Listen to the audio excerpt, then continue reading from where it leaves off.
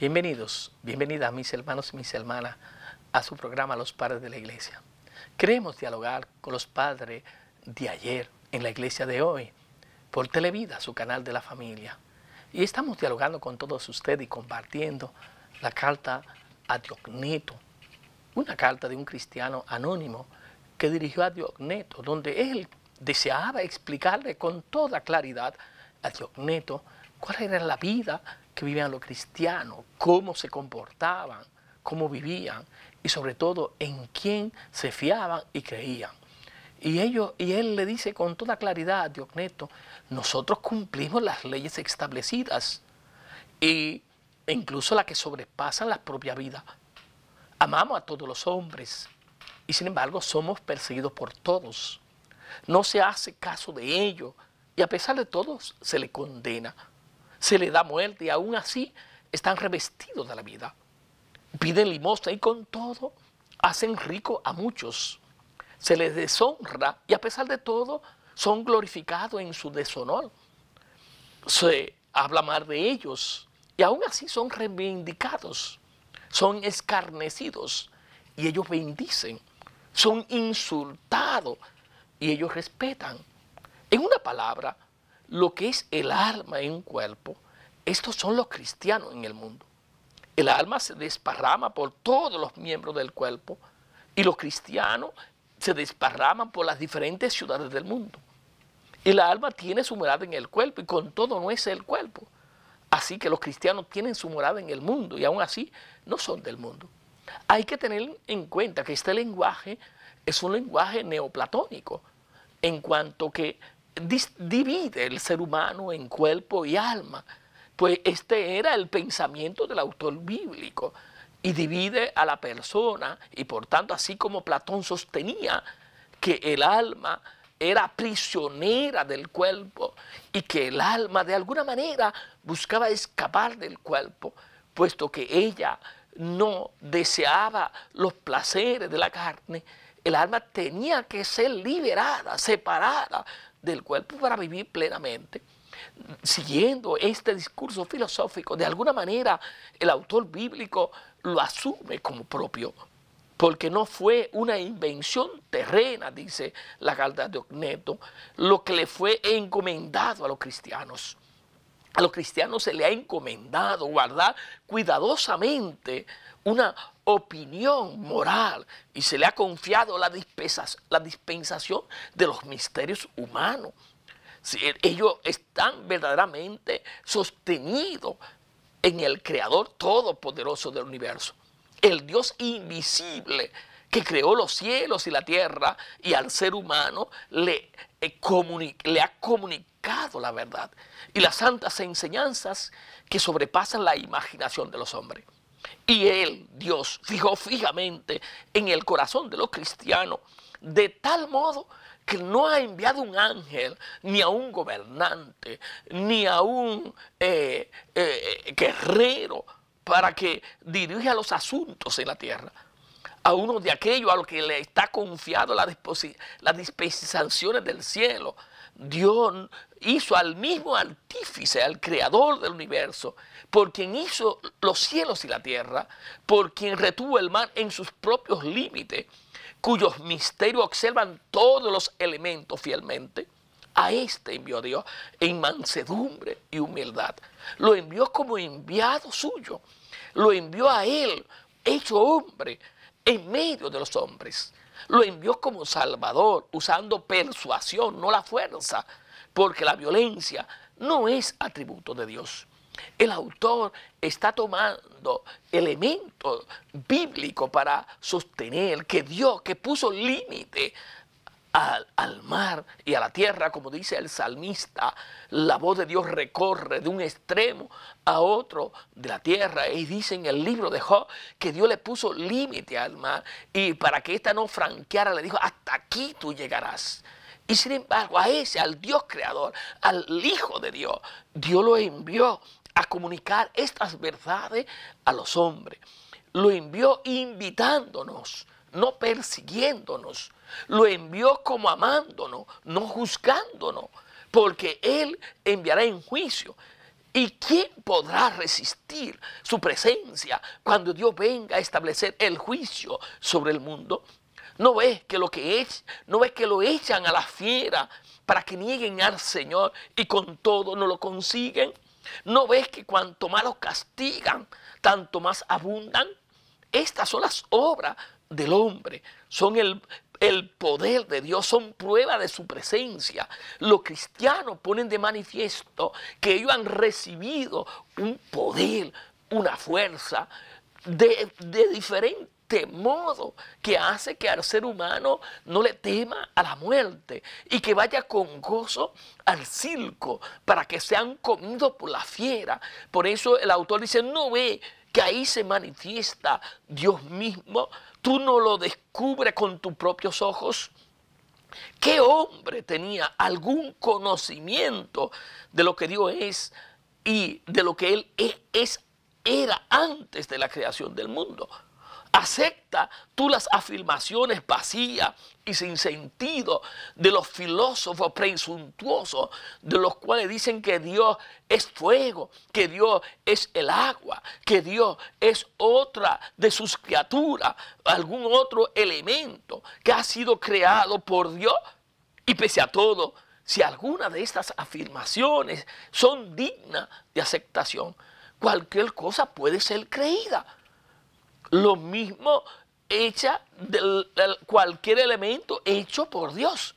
Si todo es charlatanería y engaño de los magos, y ningún hombre ha visto o reconocido a Dios, sino que Él se ha revelado a sí mismo, Él se ha revelado en fe, solo aquello a que le ha sido dado el conocerlo.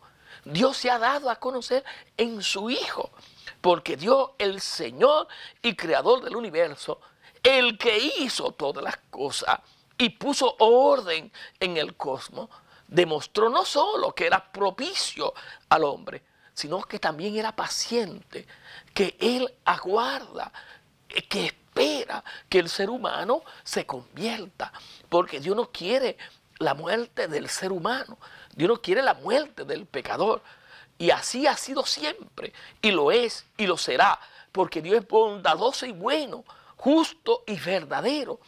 Y Él solo es bueno y Él desea la vida de aquel que ha salido de sus manos. Y habiendo concebido un plan grandioso, inefable, lo comunicó solo a su Hijo, como dice San Pablo. El misterio escondido desde la eternidad nos ha sido revelado y nos ha sido revelado en el Hijo. El Hijo nos ha comunicado las cosas que Él ha visto en el Padre, como dice claramente en el Evangelio de Juan. Yo le he dado a conocer lo que he visto de mi Padre, para que conociéndome a mí, conozcan al Padre. Por eso no le llamo a ustedes siervo, le llamo amigo, porque le he dado a conocer todas las cosas de mi Padre. Y sigue diciendo la carta de Dios, y a pesar de todo, si alguna de estas afirmaciones es digna de aceptación, cualquier otra cosa creada podría ser hecha por Dios, porque Dios es el Señor y el Creador. Él hizo todo y por tanto él que había mantenido en secreto y guardado este plan sabio como un misterio, ahora lo ha dado a conocer. Y lo ha dado a conocer en, interés de nosotros. Pero cuando Él lo reveló por medio de su amado Hijo y manifestó el propósito que había preparado desde el principio, Él nos dio todos estos dones a la vez. Nos ha hecho partícipe de sus beneficios y a vista y entendimiento de estos misterios que ninguno de nosotros había podido esperar. Esto es revelación de Dios. Esto no es sabiduría humana. Esto, como lo dice Jesús, se lo dice a Pedro. Pedro, esto no te lo ha revelado ni la carne ni la sangre. Esto te lo ha revelado mi Padre que está en los cielos. Y cuando nuestra iniquidad había sido colmada plenamente y se había hecho manifiesto el castigo y la muerte, eran de esperarse como recompensa. Hubo llegado las, a la sazón que Dios había ordenado cuando manifestó su bondad y su poder de tal manera que ha dado a conocer a su Hijo. Él no nos aborreció, no nos rechazó, no nos guardó rencor, sino que fue longánimo, fue paciente y por compasión hacia nosotros, los humanos, tomó sobre sí nuestros pecados. Él mismo separó a su propio Hijo y lo dio como rescate, como paga por nosotros. El santo que no había transgredido nada y nosotros siendo los transgresores, Él asumió lo malo nuestro. El justo asumió lo injusto de nosotros. Él, el incorruptible, asumió lo corruptible nuestro. El inmortal asumió nuestra inmortalidad para llenarnos y comarnos y colmarnos de todas sus riquezas. Y habiendo ahora revelado a su Salvador con poderoso para salvar incluso a las criaturas que no tienen capacidad para ello, Él quiso que por dos razones nosotros creyéramos en su bondad. Y constantemente Él como cuidador, como maestro, como padre, como guía, como consejero, como médico, como luz y honor y gloria y fuerza, nos ha dado y ha puesto en nuestras manos todos estos bienes. Por eso no te maravilles que un hombre pueda ser imitador de Dios.